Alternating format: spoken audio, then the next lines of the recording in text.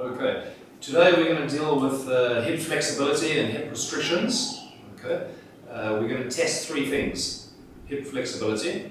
Okay, we're going to test strength of the hip and stability of the hip. Okay, so in a Thai massage setting, uh, very easily. Can you lie down, please? We can test the hamstrings.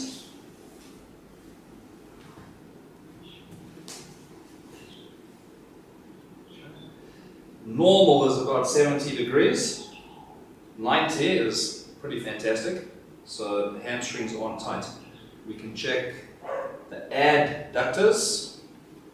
So external rotation. Okay. You're looking for about 65. That is almost 90. Fine. It's not tight. Internal rotation, which is checking the lateral rotators, so the glute medius, minimus, piriformis, okay, the deep rotators, check. Internal. That's great, you could go further. Most of your clients will have very good external. Most of your clients will have bad internal rotation. Okay. Um, couple more things you could check. Uh, we'll use a Thomas test for the psoas. TFL, and the rec fem.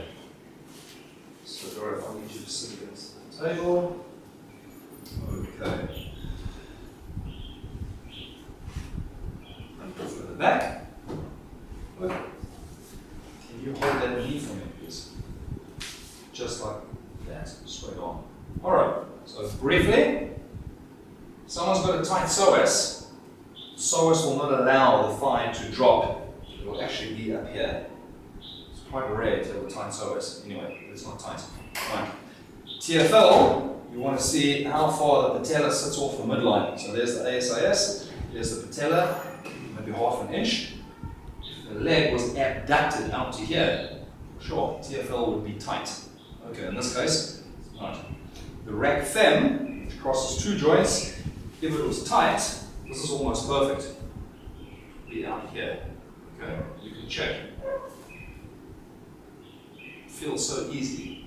So clear the rec fem, TFL, psoas, hamstrings, external, internal rotators. Nothing's tight.